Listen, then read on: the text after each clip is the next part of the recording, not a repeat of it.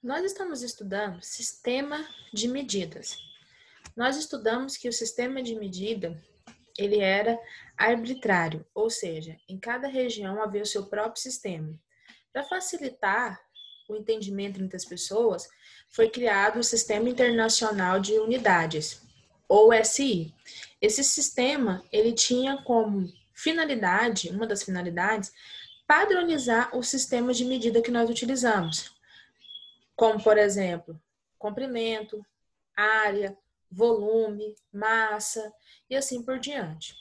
Bom, esse sistema de medida, ele foi implantado no Brasil e é o que nós utilizamos hoje. Além dele, além desses, você vai encontrar outros sistemas, como por exemplo o sistema agrário, que não faz parte desse sistema internacional, mas ele é muito utilizado na medição de terras, fazendas, chácaras e assim por diante. Qual é, o, qual é a unidade fundamental do comprimento? O metro. A partir do metro, você tem os múltiplos e os submúltiplos do metro. Quem são os múltiplos do metro? O quilômetro, o hectômetro, o decâmetro. E quem é os submúltiplos do metro? O decímetro, o centímetro e o milímetro. A partir desses múltiplos e submúltiplos, você vai perceber que esses valores eles aumentam de 10 em 10. 10 vezes maior ou 10 vezes menores. Isso quer dizer que você pode transformar de uma unidade para outra através dessa regra. Então, se você quer transformar, por exemplo, algo que está na unidade centímetro para quilômetro, você vai dividir por 10 todas as vezes que passar por um por uma unidade de medida. Então, se você está no centímetro e quer chegar no quilômetro, você vai dividir uma vez, chegará no decímetro, mais uma vez chegará no metro, mais uma vez no decâmetro, mais uma vez no hectômetro, mais uma vez no quilômetro. O processo inverso se dá pela multiplicação. Se você quiser, então, transformar algo que está na unidade de medida de quilômetro para centímetro, você vai multiplicar por 10 até que chegue na unidade desejada. Dentro do conceito de comprimento, nós estudamos o que é perímetro. O perímetro vai ser a soma dos lados da medida de qualquer figura plana.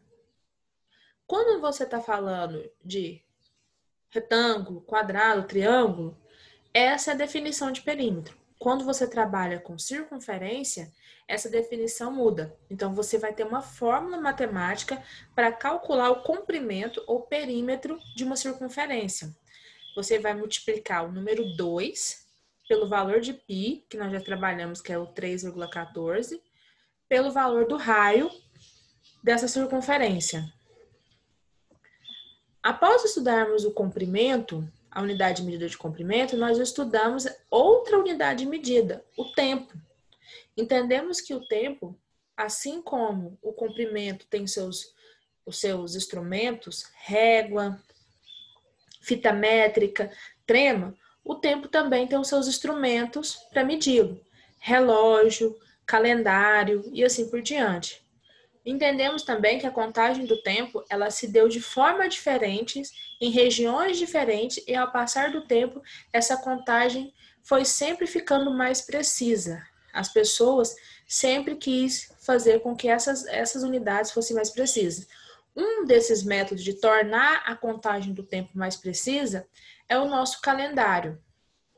O calendário ele segue uma regra no qual ele considera que o nosso movimento em torno do Sol ele leva 365 dias, 5 horas, aproximadamente 6 horas, um pouco mais de 5 horas.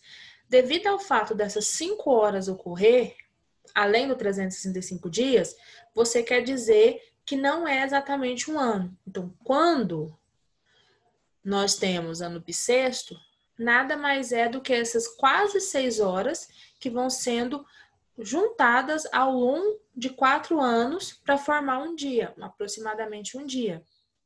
Entendemos que existem vários tipos de calendários que foram utilizados, que são utilizados até hoje, como o calendário lunar, o calendário solar, o calendário chinês, o calendário asteca, o calendário maia, o calendário gregoriano, que é o que nós utilizamos no dia a dia hoje. É o mais comum de se ver nessa parte do, do, do mundo que nós moramos. Entendemos também que a unidade fundamental do tempo, a contagem, de acordo com o sistema internacional, é o segundo. E nós temos aí seus múltiplos e submúltiplos também. Nós temos o minuto, temos a hora, temos o milênio, o século, a década, o ano e assim por diante. Tudo isso é forma de contagem de tempo. Bom, qual a outra unidade de medida que nós estudamos? A unidade de medida de superfície ou área. A medida de área. O que seria isso? Seria calcular toda a superfície de uma determinada região. Assim como o comprimento, nós temos o metro como sendo a sua unidade fundamental, a medida de superfície, ela tem como sua unidade fundamental o metro quadrado. Assim, os múltiplos e submúltiplos dela também é semelhante aos múltiplos e submúltiplos do comprimento. Você vai apenas acrescentar a palavra quadrado. Então, os múltiplos serão quilômetro quadrado, hectômetro quadrado, decâmetro quadrado. E os submúltiplos? Centímetro quadrado, decímetro quadrado e milímetro quadrado. Observe que quando você quer transformar de uma unidade para outra no comprimento, você vai multiplicar por 100, por 10, aliás, no sentido quilômetro para milímetro, e dividir por, por 10 no sentido milímetro e quilômetro. Quando você está trabalhando medida de superfície, você vai fazer a multiplicação por 100 ou a divisão por 100. Então, se você quer converter de uma unidade para outra, cada vez que você passa por uma unidade, você multiplica por 100 ou você divide por 100. No sentido quilômetro quadrado para milímetro quadrado, nós dividimos por 100. No sentido milímetro quadrado e quilômetro quadrado, você multiplica por 100. É importante lembrar desse conceito porque você vai utilizá-lo para comprimento, área e volume. Entendemos que calcular a área depende daquela figura que você está trabalhando. Se o formato do lugar que você quer calcular a área se parece com um retângulo, você multiplica base vezes altura. Se se parece com um quadrado, você multiplica os lados. Se se parece com um paralelepípedo, você também multiplica base vezes altura. Se se parece com um triângulo, multiplica-se base vezes altura e divide por 2. Se parece com um trapézio, aí você também já muda a fórmula, assim como o losango e o círculo. Observe que a cada forma geométrica você tem uma forma diferente de calcular. Caso a sua o seu cálculo seja de uma área que não se enquadre em nenhuma dessas figuras, você faz a decomposição das figuras até encontrar figuras que você consegue identificar, como triângulo, retângulo e assim por diante. E aí você pode fazer o cálculo. Bom, o que nós vamos estudar agora? Nós vamos estudar mais algumas unidades de medida. Nós vamos estudar a temperatura, que é uma outra unidade.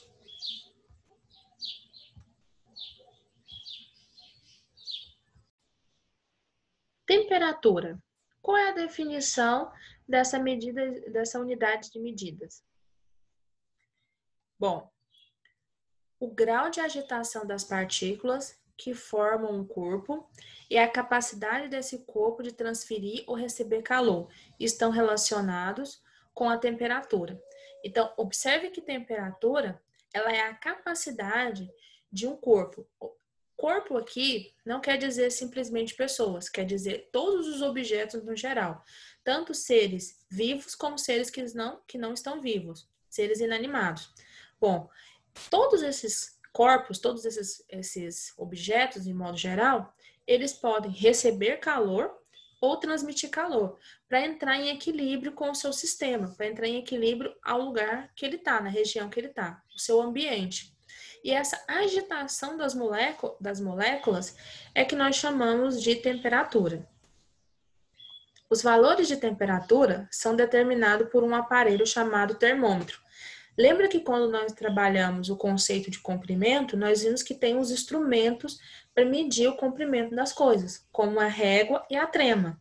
Quando nós estudamos as medidas de tempo, nós entendemos que também tem os seus instrumentos para medir o tempo, como relógio e calendário. Quando nós trabalhamos a área, nós não falamos sobre medidas de os instrumentos que utiliza para calcular a área, porque são os mesmos para você calcular o comprimento. Agora que nós estamos trabalhando a temperatura, o aparelho ou instrumento que nós utilizamos para aferir a temperatura de algo é o termômetro. O termômetro e sua graduação é denominada de escala termômetra.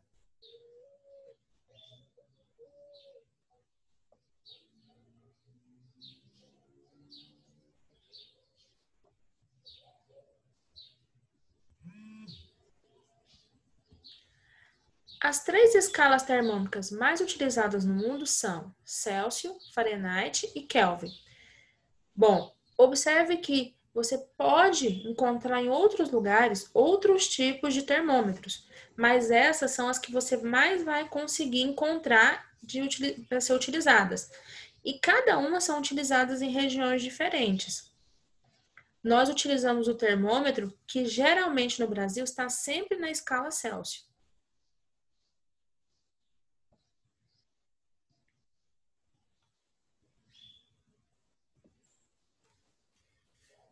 Escala Celsius.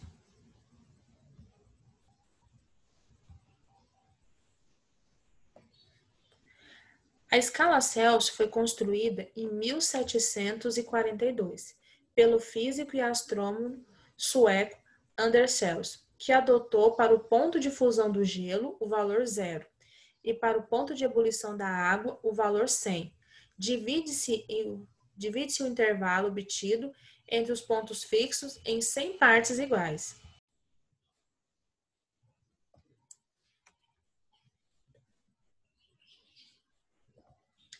Em cada parte corresponde a uma unidade da escala, que foi denominada de grau Celsius, cujo símbolo é o C.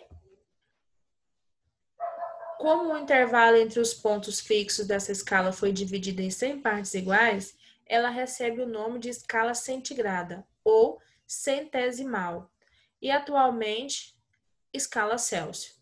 É a, e essa é a mais utilizada no Brasil e em todo o mundo.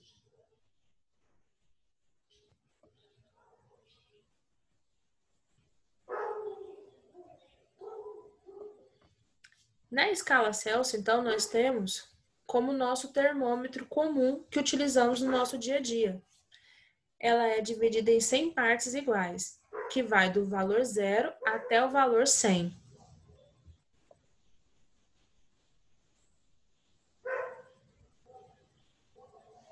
Nós temos também a escala Fahrenheit. Ela foi construída em 1727 pelo físico alemão Daniel Gabriel Fahrenheit. Ele adotou como valor zero para a mistura água, gelo picado e sal e o valor 100 para, para a temperatura do corpo humano. Dividiu-se inter, esse intervalo entre esses pontos fixos em 100 partes iguais. E cada parte recebeu o nome de um grau Fahrenheit. O símbolo é o F.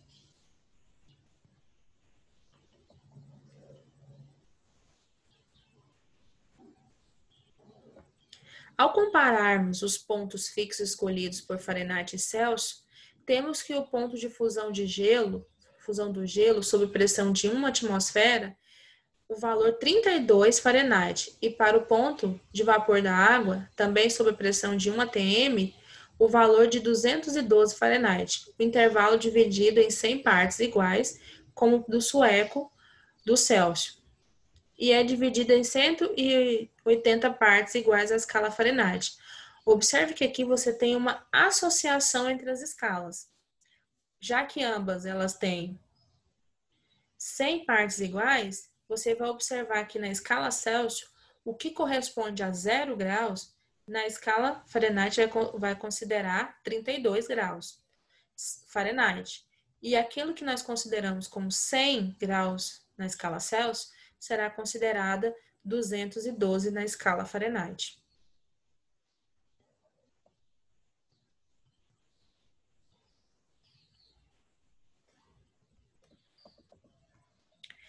Escala Kelvin. O físico irlandês William Thomas, que recebeu o título de nobreza como Lord Kelvin, estabeleceu em 1848. Ou seja, em 1848 nós temos aqui uma nova escala sendo utilizada, que é a escala Kelvin.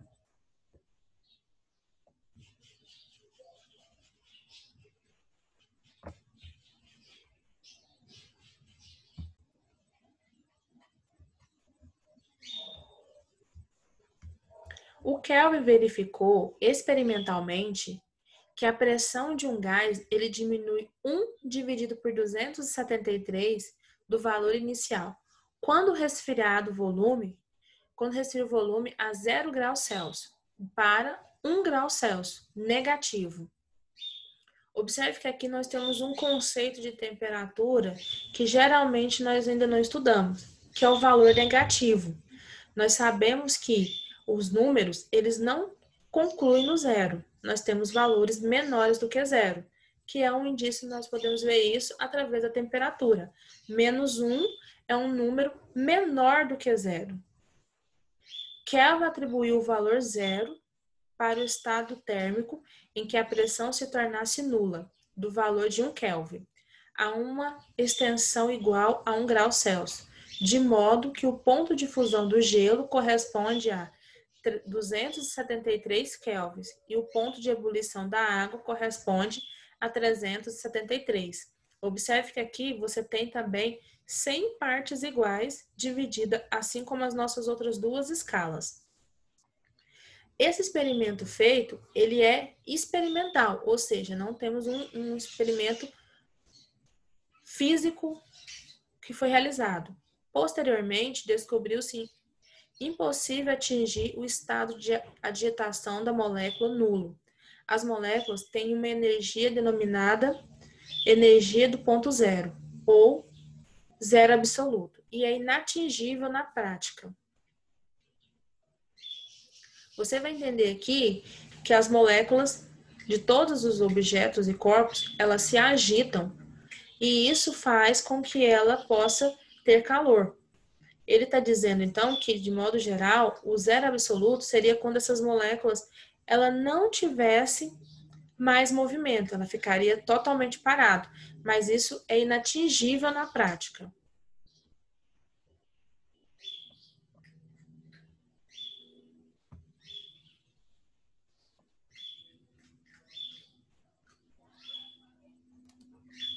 Se nós estamos falando de temperatura, e estamos falando que a temperatura nada mais é do que o movimento das moléculas que compõem o corpo, então nós podemos também entender o conceito aqui de calor e equilíbrio térmico.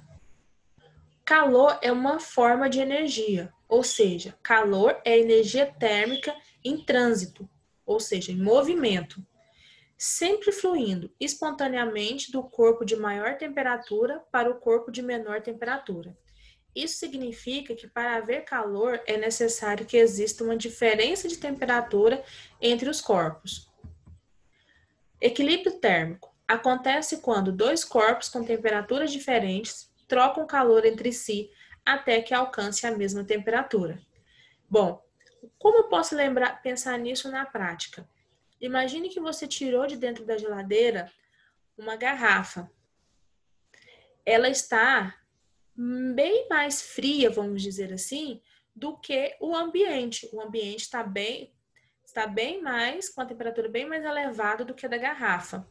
Então, a tendência é que o ambiente e a garrafa tentem entrar em equilíbrio térmico. Ou seja, aquele que tem mais calor, ele vai ceder para aquele que tem menos calor até que eles entrem em equilíbrio térmico.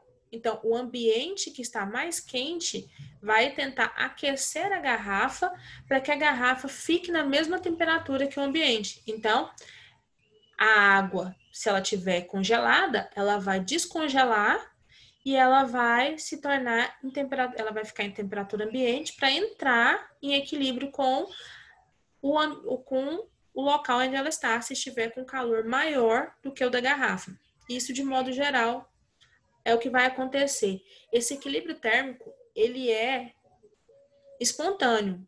Você não consegue parar esse, esse movimento de equilíbrio. Sempre que você tem dois objetos em contato e um está com mais calor do que o outro, então sempre vai querer, eles sempre vão querer entrar em equilíbrio. Aquele que tem mais calor, que você tem a sensação que está mais quente, vai ceder energia para aquele que tem menos calor, aquele que você vai dizer que tem a sensação de frio, para que os dois tenham a mesma temperatura.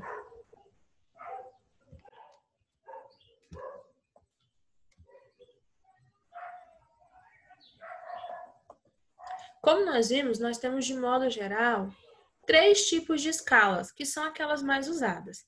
Existe uma relação entre elas. Isso quer dizer que você pode converter de uma temperatura que está marcada em uma escala para outra escala. As escalas Celsius, Fahrenheit e Kelvin. Bom, como eu posso fazer? Através da divisão. Se você quiser converter de uma temperatura para outra, você tem a temperatura Celsius dividida por 5, a temperatura Fahrenheit dividida por 9 e a temperatura Kelvin dividida por 5.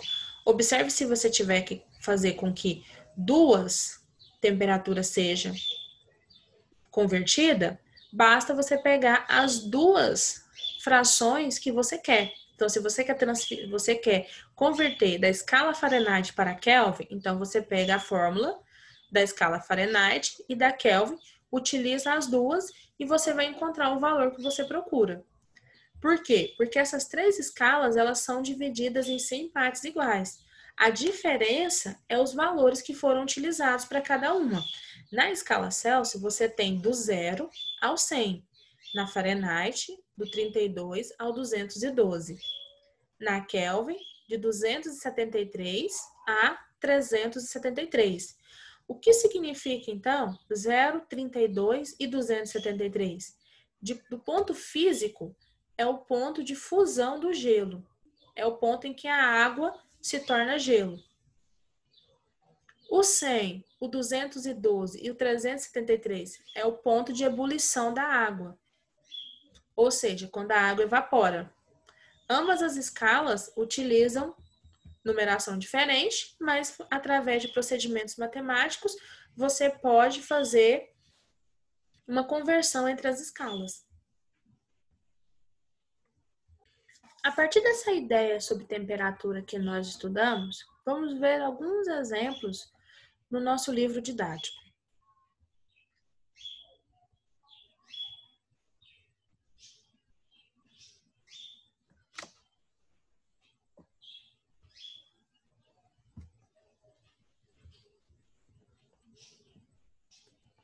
A temperatura de um determinado corpo oscilou de menos 12 graus Celsius para 32 graus Celsius. Qual é a variação de temperatura desse corpo?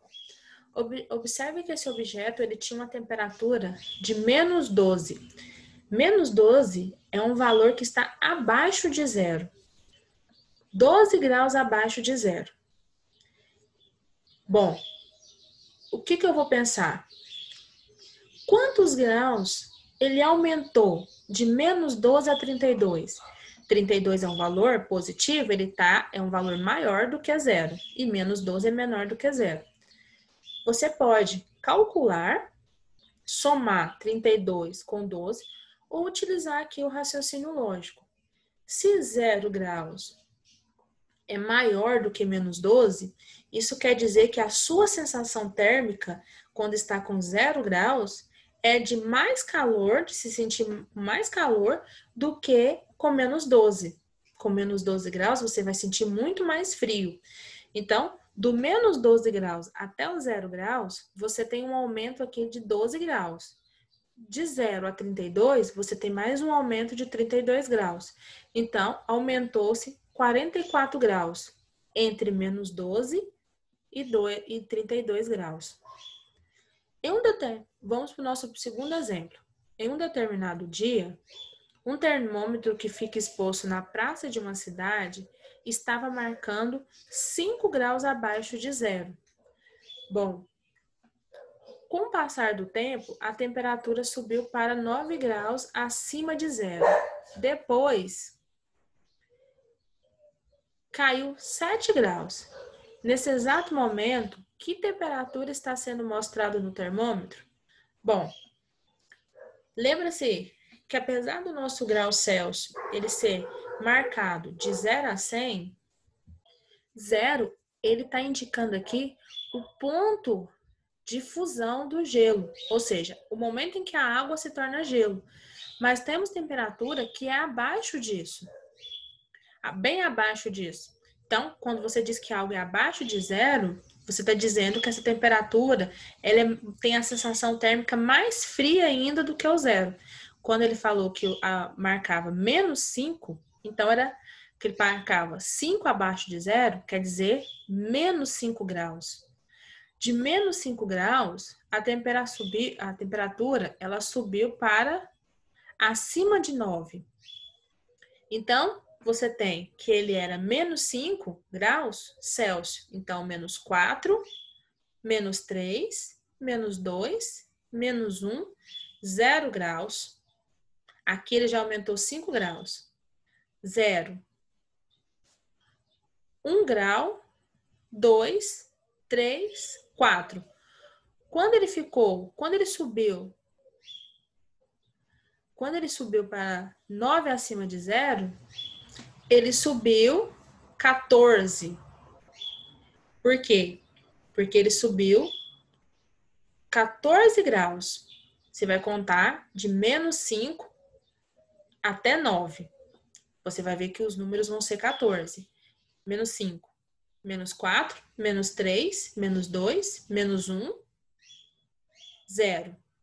1 grau, 2, 3, 4, 5. 6, 7, 8, 9. Quando chega em 9 graus, você teve um aumento aí de 14 graus. Depois disso, caiu 7 graus. Bom, você vai voltar 7 graus. Se você está no 9 graus e volta 7 graus, você vai parar em 2 graus. Observe aqui que você tem várias formas de raciocinar com essa temperatura. O que você tem que tomar cuidado quando se trata de temperatura? Valores abaixo de zero. Geralmente, eles são marcados com um símbolo de negativo na frente. Menos 2, menos 3, menos 4. São temperaturas que estão abaixo de zero. Concluímos assim o nosso estudo sobre temperatura. No nosso próximo vídeo, nós continuaremos trabalhando outros tipos de medidas de unidade.